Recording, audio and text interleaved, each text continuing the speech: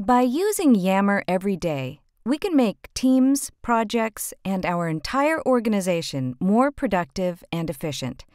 First things first, editing my Yammer profile lets coworkers put a face to a name and learn more about me. Accentuating the positive in our organization is important. Similar to other social media, Yammer allows me to like posts when I want to offer praise or agree with something.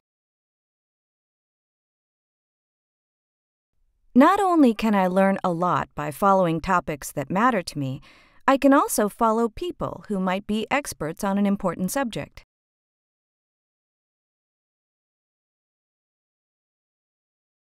Discovering and joining a Yammer group is a great way to stay informed about many areas of our business.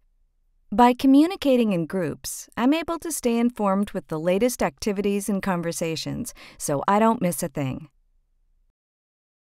Sometimes I need to loop in coworkers to a specific conversation. The at mention function allows me to directly link a person's name in a post so I can reply or call their attention to a conversation. Other times, I need to gather feedback from others in making a decision. In Yammer, creating a poll offers an organized and convenient way for the group to voice their opinions and suggestions. When I need assistance finding important information, Search and the Discovery feed can help point me in the right direction.